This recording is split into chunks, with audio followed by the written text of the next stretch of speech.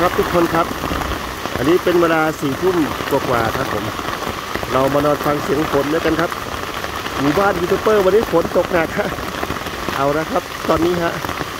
แล้วก็อยู่ในเต็นท์นะฮะเมื่อกี้ไทยบ้านนอกกำลังนึ่งข้าวนึ่งข้าวยังไม่สุกเลยฮะฝนมาก่อนพากันเจ็บของอีลุงตุงนางตัวนี้แอดก็เก็บของเขาเต็นท์ก็วิ่งเข้ามาไว้มาถ่ายวิดีโอให้ทุกคนดู อันนี้คือบรรยากาศในสวนยางหมู่บ้านยูทูบเบอร์นะฮะฝนตกเวลาสี่ทุ่มวันนี้ฮะตกหนักๆในตอนนี้ฮะอะเป็นกำลังใจให้กันครับทุกคนครับ กับบรรยากาศสายฝนวันนี้ฮะโอ้นะฮะเอาเข้าไปฝนเอ้ยตกลงมาเลยแต่อย่าลมเด้อนะตกแรงเลยกลัวอย่างเดียวคือลม เออ รบ้านนอก โอเคบ่ไปแล้วท่านเอ้าจะก็ทีมคอย อย่าฝ่าออกไป กลับมาก่อนอย่าฝ่าออกไปดูหันละ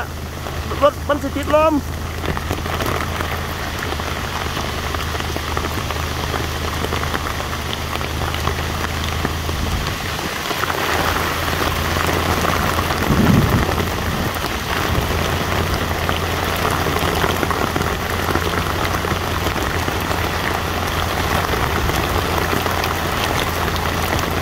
บ่ได้ขับออกไปดอก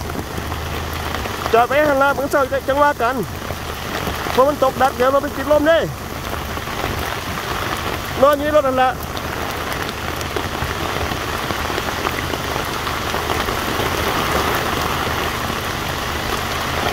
บ่ได้ขับออกไป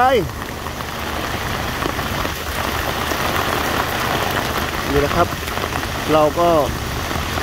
อย่างนี้เนาะวันนี้ก็ถือว่าตกแรงฮะ มาตอนกลางคืนเลยไม่ต้องขับออกไปเด้อรถในรถนะขับออกไปเดี๋ยวมันติดลมในรถ